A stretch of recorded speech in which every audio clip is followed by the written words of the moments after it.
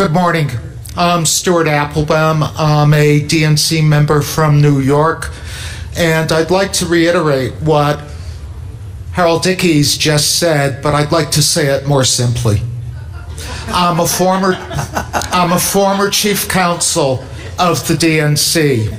In the charter, we define what a delegate is, but we do not define vote, and I support the position of the chair. Thank you.